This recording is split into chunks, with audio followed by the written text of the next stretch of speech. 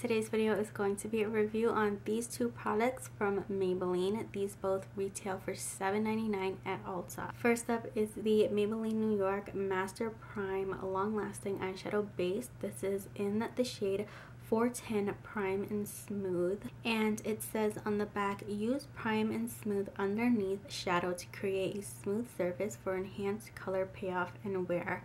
Color looks flawless with improved intensity.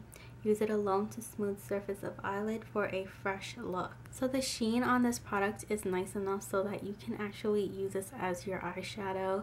It's really pretty on its own. So the packaging is really nice. You definitely can see the intensity of the sheen that this primer has through the packaging and this has a doe foot applicator so it's really easy to apply to the lids. This glides on so easily. It's easy to blend. I blend it out with my finger and does a really nice job at creating a really smooth surface to apply eyeshadow. This keeps my eyeshadow nice and smooth for several hours. I don't see creasing until a couple of hours into the day. This really helped to make my eyeshadows stand out. I am wearing shimmery eyeshadows, so this did a really nice job at just helping the eyeshadows to pop a little bit more. The shadows applied beautifully. It was really smooth. I do think this is a nice product. It's a pretty average product. There are so many primers out there to choose from. I do feel like there are a lot better formulas out there, so um, it is an option for everyday use, but if you were going to like a special event and you wanted your makeup to look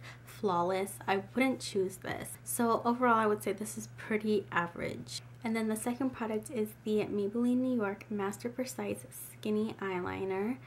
This is in the shade Defining Black and this is an automatic pencil. It has a 1.8 millimeter micro tip. It's always sharp and has a smooth gel intensity. On the back it says twist clockwise twice to line each eye. Line Master Precise Skinny along upper lash line. When it comes to winding up the product, you definitely need to be careful.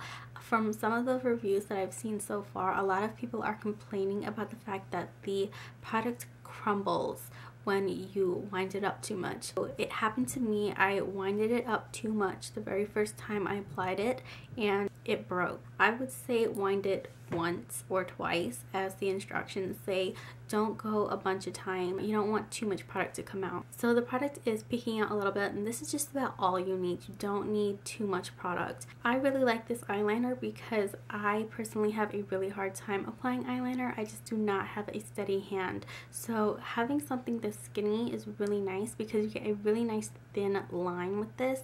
I love how pigmented this color is. It's really bold this is exactly what I want my eyeliner to look like. It is a pop of black.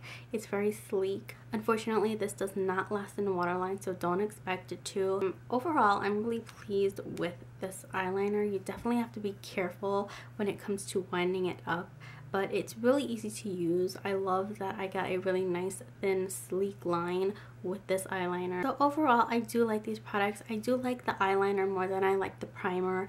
Um, I think the primer is a product that I could do without. There are so many other primers out there that I could find.